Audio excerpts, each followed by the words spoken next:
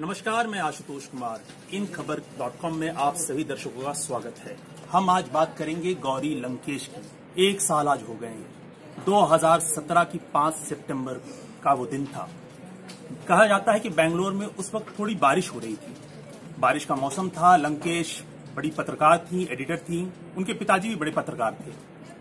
तो वो एडिटर थे, अपनी काम कर रही थी। कहा जाता है कि उन, वो नेक्सल सिंपथाइजर थी, लोग आरोप लगाते हैं और राइट विंग हिंदुत्व आइडियोलॉजी के खिलाफ वो क्रिटिसाइज करती थी, उनके खिलाफ लिखती थी। तो कई दुश्मन भी उनके कहे जाते हैं। तो एक साल आज हो गया है, उनकी हत्या उनके घर पे की गई थी। दो दो अपराधी आए, मोटरसाइकिल बैठकर, जब तक वो दरवाज़ा खोली, उससे पहले दो गोलियाँ उनके सीने में दाग चुकी थी। और कुछ ही दिन, देर में ये पूरे नेशनल मीडिया में आ गया, खबर बन गई कि गौरी लंकेश की हत्या हो गई क्योंकि गौरी लंकेश कोई छोटा नाम तो थी नहीं। पत्रकारिता जगत में बड़ा नाम थी। तो पहली थ्योरी आई उसमें कि शायद नक्सलियों की उनकी करीबी की वजह से आ, उनकी हत्या हुई। लेकिन फिर बड़े अधिकारी बड़ी वरिष्ठ और बहुत ही तेज तरह अधिकारी इस जाँच पे आए बीके सिंह। उन्होंने सबसे पहले इस थ्योरी को खारिज किया और राइट विंग जो दक्षिण पंथी विचारधारा है वो एक एंगल पकड़ा और उस पर ही जाँच चली कि दक्षिण विचारधारा के जो लोग हैं दक्षिण पंथी विचारधारा के उन्हीं ने इनकी हत्या की है।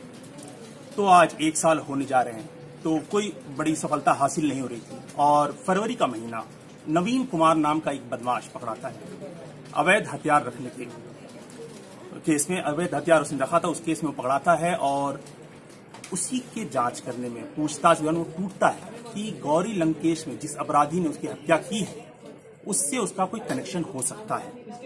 तो लेकिन जो मर्डर हुआ था, वो इतने साफ़ तरीके से हुआ था कि अपराधी और जो गौरी लंकेश का जो, ये नवीन कुमार जिसने हथियार सप्लाई किया था और ये दूसरा व्यक्ति जिसने मर्डर किया है, इन दोनों की जो कनेक्शन काफ़ी कम था। लेकिन एसआईटी जाँच कर रही थी और इस जाँच में सफलता हासिल हुई जब परशुराम वाघमरे नाम का एक व्यक्ति गिरफ़्तार हुआ। पच्चीस साल उसकी आयु है।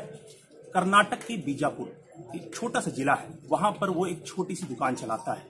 तो जब उसे गिरफ़्तार किया गया तो पता चला वो राइट विंग संगठन कुछ है, उनसे उसके संबंध है।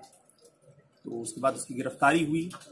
तो फिर वो टूट गया। उसने कहा, उसने अपने एसआईटी की जाँच में वो टूट चुका है और उसने कहा है कि उसने किसी के कहने पर वो हत्या की है। तो ये, अभी देखना है कि केस कितने दिन चलता है, कब वो अदालत तक पहुँचता है कब उसे सजा होती है और कौन कौन अपराधी हैं जो इस केस में शामिल है।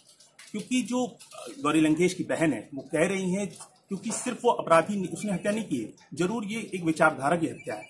एक जो संगठन है, जो राइट विंग संगठन है, उसने जानबूझकर उसकी हत्या करवाई और उसने कहा है कि अगर प्रूफ होता है कि राइट विंग संगठन ने ही जो संगठन है, सनातन संस्था, अगर उसने उसकी हत्या में शामिल गौरी लंकेश की हत्या में शामिल है तो उसका, उसके साथ सरकार वही व्यवहार करे जो आतंकी संगठन के साथ करती है। लेकिन एक और बड़ा सवाल होता है कि जब बेंगलोर कर्नाटक में आपको कर, आपको कांग्रेस की सरकार थी और विधि व्यवस्था उसकी ज़िम्मेदारी थी तो कहीं ना कहीं कांग्रेस की ज़िम्मेदारी बनती है क्यों उसकी विधि व्यवस्था इतनी मज़बूत नहीं थी कि वहाँ पर कोई इतने बड़े पत्रकार को दो आम अपराधी आकर गोली मारकर चले जाए?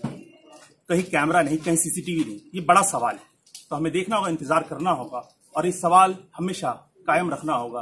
कि गौरी लंकेश की हत्या क्यों हुई, किसने की और किस वजह से की। तब तक के लिए आप देखते रहे इनकवर डॉट कॉम और हमेशा हमसे लगातार जुड़े